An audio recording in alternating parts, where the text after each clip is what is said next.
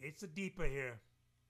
Yeah, yeah, that big, loud, large sound is coming out of my LaGrange Grammatico amp called LaGrange. This amp was designed and built by John Grammatico out of Austin, Texas. John and I worked together about four or five years ago, and he built me this amp. I went to him, we worked together real close, kind of told him what was in my head, and he voiced this baby for me. He actually built a few of these, but this one, this particular one, he voiced directly for me, uh, giving him, you know, impressions of what I was looking for. So yeah, so John, John's a very talented young man here in Austin, building all kinds of amps, and he goes by the name of Grammatico. So this amp is a 15 watt, kind of like a deluxe reverb, but maybe a little bit more than that. I would say on steroids.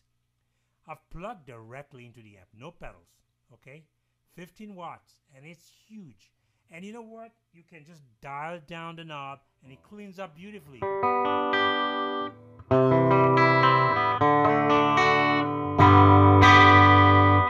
Beautifully, and you turn it right up.